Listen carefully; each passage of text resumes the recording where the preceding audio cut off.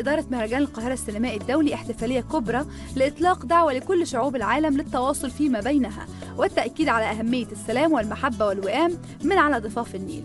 حضر الاحتفالية وزير الثقافة دكتور محمد صبر عرب رئيس المهرجان الفنان دكتور عزت أبو عوف وبعض سفراء الدول العربية والأجنبية الذين تشارك أفلامهم في الدورة التي ستقام في الفترة من 27 وحتى 6 ديسمبر المقبل. السينما شيء جميل جدا في حياتنا. أعتقد أنها اللغة الإنسانية الراقية التي تقرب بين الشعوب. من أجمل الوسائل عبر القرن الماضي هي لغة السينما لغة السينما الصورة ولغة السينما الحوار ولغة السينما التكنيك الفني. كل هذه أمور قد جعلت من العالم الكبير عالم صغير. السينما دائما كانت هي الشكل الإبداعي الرائع الذي جعل حياة الشعوب أكثر جمالا وأكثر روعة. مصر مخزون من التجارب الصعبة والتجارب الناجحة. أعتقد إنه الفترة القادمة سوف يكون الفن بالذات الفن والأدب والمسرح هيكون أكثر وهيكون وهيتقدم أكثر. ما حدث في مصر خلال العام ونصف الماضي يعني يعتبر منجم للفن. إحنا في فترة محتاجة تأكيدات كتير قوي للعالم وللمصريين. لسه زي كنت بقول قبل ما اقعد أتكلم معاك إن إحنا مش لازم نفضل متشائمين كده بقى لأن إحنا الثورة عبارة عن طفل عنده ما تم السنتين. فمن الطبيعي إنه يتعثر ويقع ويقف تاني ويتعور ولازم تاخد بالك منه. ولازم ترعاه ولازم تعلمه ولازم فانا بقول إن الثورة كده فإحنا من ده حاجة من الحاجات اللي بنعمل بيها كده إن إحنا نقول للناس مصر بخير مصر بتنادي بالسلام مش بس في سلام. إحنا عندنا مهرجان من أكبر مهرجانات العالم إحنا عندنا أحداث وعندنا ناس كتير بتهتم بينا ومعتبرانا من أحسن بلاد العالم. إحنا بنقول للعالم كله إحنا بلد سلام وهكذا يعني. في أسباب كتير قوي كانت تستدعي قيام هذا الاحتفالية. النهارده احتفالية السلام اللي بيقيمها مهرجان القاهرة السينمائي ووزاره الثقافة هدفها بيصب في في, في مجموعة رسائل بيبعتها المهرجان.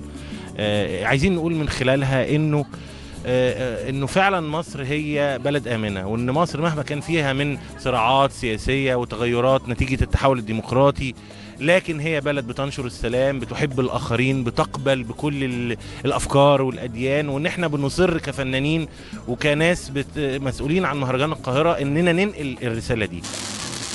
الفن هو هي يعني هو أحسن طريقة للتعبير عن الحب وعن الأخوة. وعن حب المصريين لبلدهم. ودي لغة لغة دولية لغة للعالم كله. لغة الفن ده كان بالنسبة لنا ان إحنا السنة دي نقوم بهذا المهرجان. كان تحدي كبير جدا.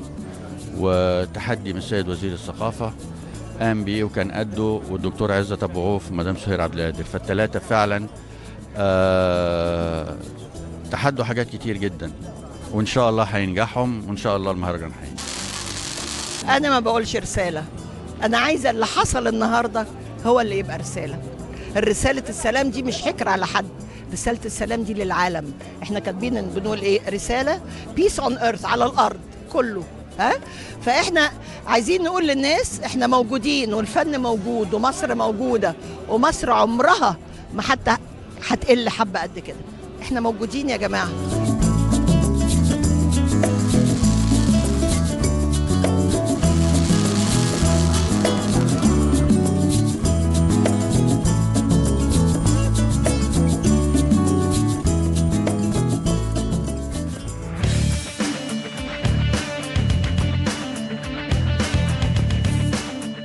أقيم السنة دي.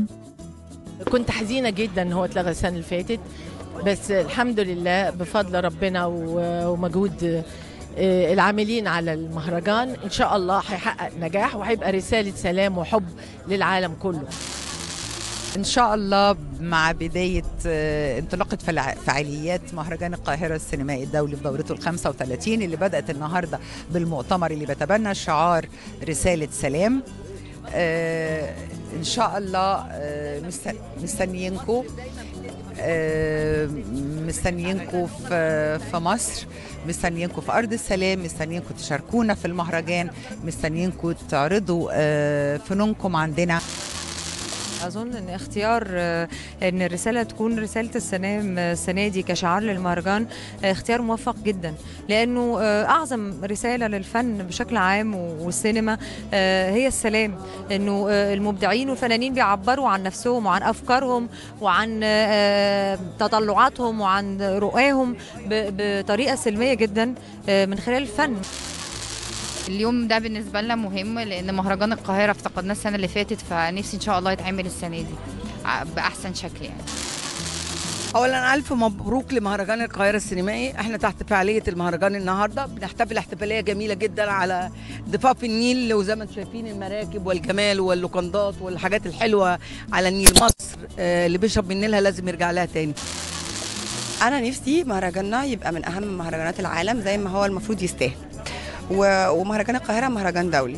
ف فنفسي ياخد مكانته دوليا زي ما ما المفروض إنه يستاهل